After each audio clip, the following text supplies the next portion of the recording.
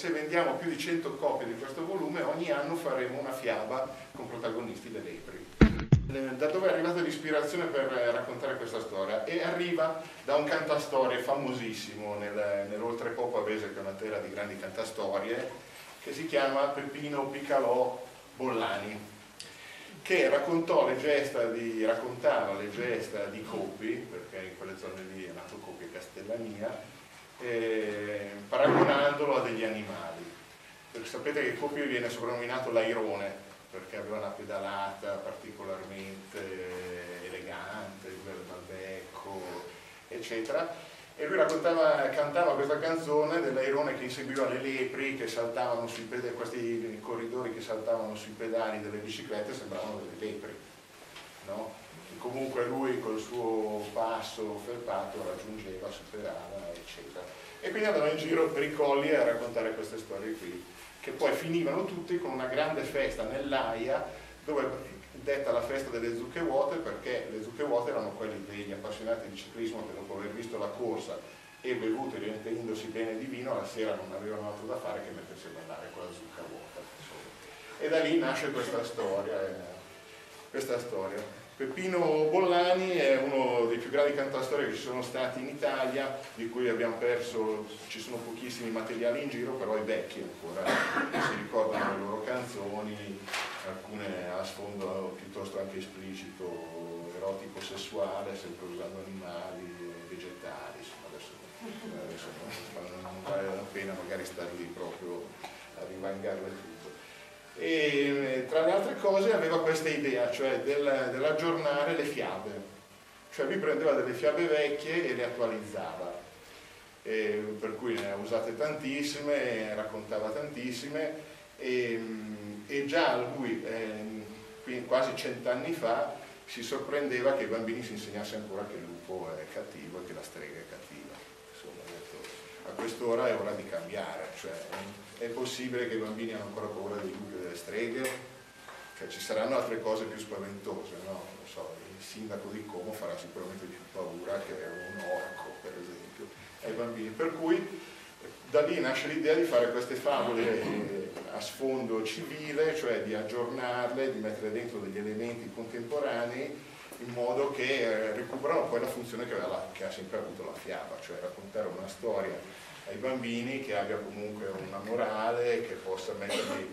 eh, su chi va là e rendersi conto quali sono i veri pericoli che, che ci sono adesso, che non sono certo nei lupi né nelle streghe. E da qui nasce l'idea di fare delle fiabe moderne. Racconta di, queste, di questa festa e di questi popoli, il popolo verde, il popolo rosso, dove ognuno tendenzialmente può vederci un po' quello che vuole come deve essere nelle fiabe, però eh, per esempio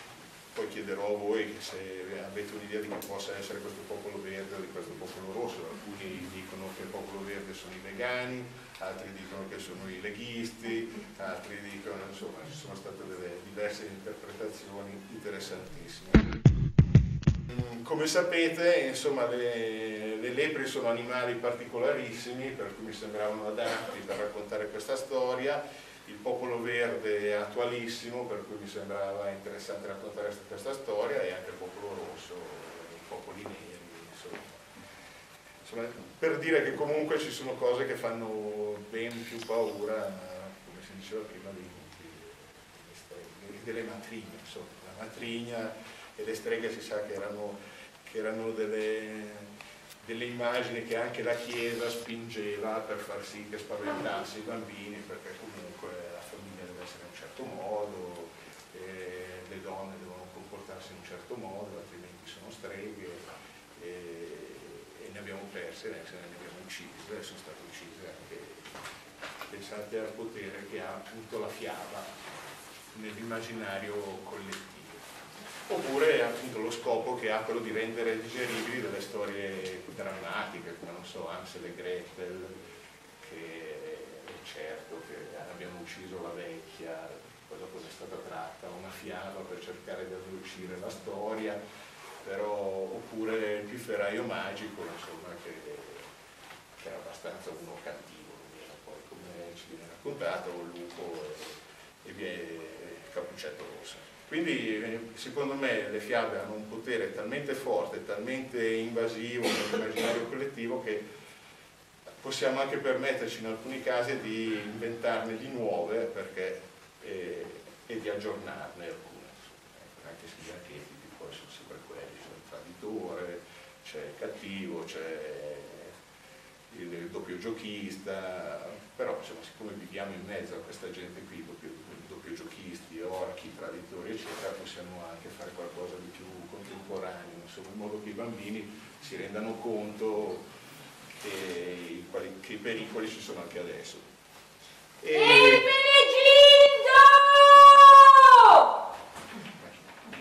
Ho bisogno di te! Vedi di cavartela da solo, vecchio! Sto giocando a carte con gli amici in paese. Così inizia il gatto con gli stivali.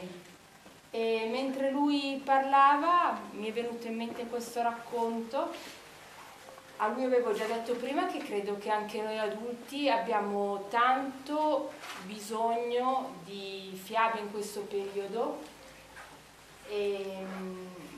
quindi credo che il valore aggiunto di quello che ha pubblicato Ombretti e che lui ha scritto sia proprio quello di eh, regalarci un attimo di distrazione anche se insomma tra bianchi, verdi, rossi, gialli e blu, magari mancano anche quelli nella favola o saranno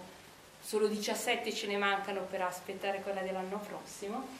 Magari noi questa volta parliamo di cantastorie, di storie che ti hanno ispirato, ma eh, anche di lepri e aironi. E magari ecco, sarebbe interessante anche riuscire entro l'anno prossimo a riempire le teste. Abbiamo le zucche vuote, siccome ci sono un sacco nelle fiabe di sillogismi, di sottintesi, magari anche non troppo, credo che sia importante che quello che esce, che può suscitare, che può raccontare in un adulto, che può leggere qualcosa di veramente spensierato, anche se ha un fondo che lascia libera magari non troppo la fantasia, però parte sicuramente da qualche realtà